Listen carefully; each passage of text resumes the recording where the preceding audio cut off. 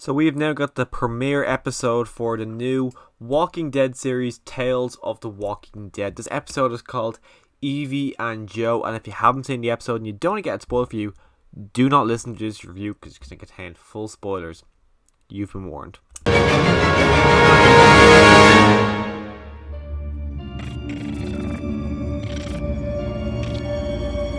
I feel like this show has been talked about for years, and I'm shocked that The Walking Dead actually done two spin-off shows before they even got to Tales of the Walking Dead. This I feel like people have been talking about a show like this and a, a what if show for years, and I I'm really glad we are finally getting to this point. When they announced the cast back in I can't remember. It's it was a while ago when they announced the cast. I recognized no one except for Olivia Munn and Terry Crews. Olivia Munn was like, oh, that's cool. See what she's gonna be like.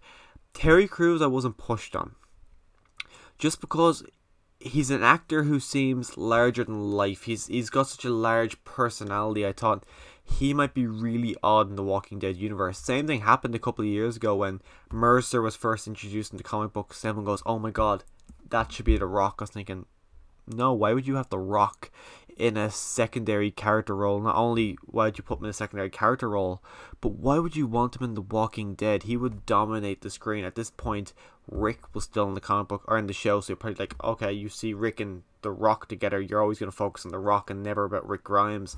So I was really glad, of course, when they didn't go down that road, but having Terry Crews here, even watching him at the San, San Diego Comic Con, I was just looking, I'm like, this guy doesn't feel Walking Dead. And this episode, it had moments I enjoyed. I didn't hate the episode, but I'm really hoping it it gets better. There's stuff here that I didn't like. It the episode went for more of a comedic tone, which I think they said beforehand that each episode is going to have its own feel to it, and the comedic tone this episode I really didn't like. We find out that it's been a year into the apocalypse to the point therein Terry Crews' character has been living in a bunker all this time. He leaves to go find this girl after the death of his dog. And then on the way to find a, a girl, he comes across a different girl, Olivia Munn, who first they don't trust each other. She holds a gun to him, makes him drive her around. After a point where they take down six walkers together, they immediately become friends. They trust each other completely, and then they start going on their adventure together until the point when Joe's bike gets stolen from some random guy. It's revealed that the gun was empty the whole time. So then Joe gets pretty angry. She gets pretty angry, and they go their separate ways. But the guy who robbed the bike left him with a a lamb or a sheep, which I think are the same thing. So we got an animal in the episode, but the whole reason for this episode was for Terry Crews to find this girl he likes, and then for Olivia Munn to go and find her husband. She goes to where her husband's last known last known location was. He's not there anymore. Nothing said beyond that. Besides, she just says, "I hope you made it." For all I know, he could be a character. No, his name's Steven. Oh, I don't think we've ever met anyone called Steven in The Walking Dead.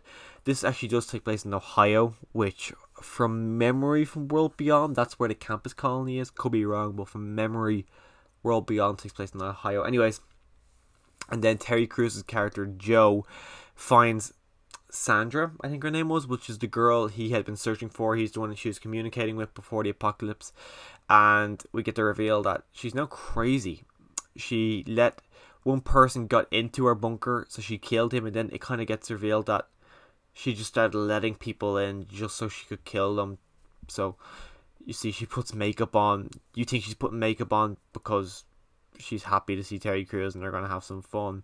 But no, she's putting makeup on like she's the fucking Joker. She looks psychotic in the makeup. She then tries to lure in Olivia Munn's character so then she can kill them both. Ends up they kill her and then they start to get ready to leave the bunker. She comes up behind them, axe still in her chest, and they go, "Oh my god, she's here!" I don't know why. They then they start to panic and leave quicker. I don't know why they didn't just put her down. They're a year into the apocalypse. I get Terry Crews doesn't have as much kind of with walkers because he'd been in the bunker so long. Olivia Munn was out there for a year plus. Why run off in a panic when you could just put it down. It's literally one walker. Also, why are they leaving the bunker? This bunker bunker is like a sanctuary. If Rick and the group had found this, if Morgan and the group had found this, if anyone had found this, they would stay there. It's a paradise. Of course, you don't have crops or anything, so it's not a permanent position to stay in. But it would be a good place for them to stay in there until they got their kind of until they figure out what they want to do. It'd be a good base camp instead of sleeping on a bridge like you see her Olivia Munn's character doing at the end of the episode. It would be a good place to sit there and make a plan of what they're going to do. But they do not. They reveal that okay, well, since they both survived, their plan is now to go off and find people. Is this the end of these characters? Are we going to see them in season two? I don't know. I don't know if they've actually revealed if any of these characters are continuing characters. I wouldn't be surprised if we picked them season two and it just like picks up five years into it and they're now part of a community. They're married or whatever. Now I'm expecting if we see them again, it'll be a big time jump into it. But I'm not gonna lie, I was very underwhelmed with this episode. There was moments I liked moments like I liked the part where the dog at the start. That was pretty cool. The walkers just seeing Terry Crews's kind of apartment where he's living on underground. That setup and the setup he has above all the traps. All that was pretty cool. It really went to show that he had thought about this for a long time. But then, like the storyline with the crazy girl at the end, that all just felt really, really rushed. It just felt like they were meandering for the first half an hour, and then like, oh shit, these are forty minute episodes. We got to get to the end pretty quickly, and then of course, we get what we got.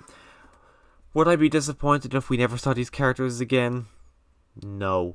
Am I immediately in a hurry to rewatch this episode? No. Did I enjoy it?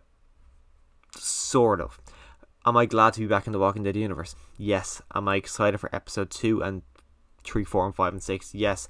I'm excited to see what's happening moving forward. I'm glad this is not the first episode of a series following these two. I'm glad that the next episode is a completely different story. We got a trailer at the end that gets me excited. The fact that this is an, antholo- an, an anthology show, couldn't get that word out. That's what makes me more interested for us moving forward because these two characters were not great. Terry Crews, my biggest complaint going into this kind of whole show was I'm not going to buy him in The Walking Dead. And I was right. Am I disappointed?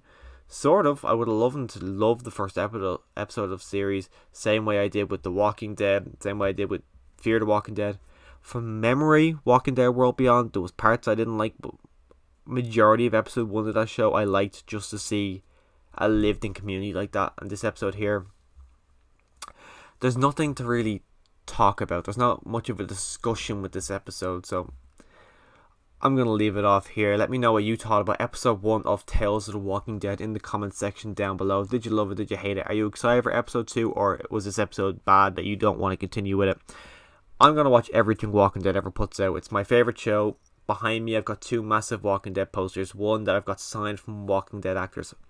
On a side note, Dublin Comic Con announced in March Ryan Hurst is going to be there, which makes it the sixth Walking Dead actor I would have met, but it'll be the fourth on my big Walking Dead poster. Very excited to meet Beta. Just very, very cool. But if you do want to see future Walking Dead content from me, click the subscribe button. And as always, thanks for listening. But do you think Beta will be in the Alpha episode? Who knows? Let's find out on episode 3, I think.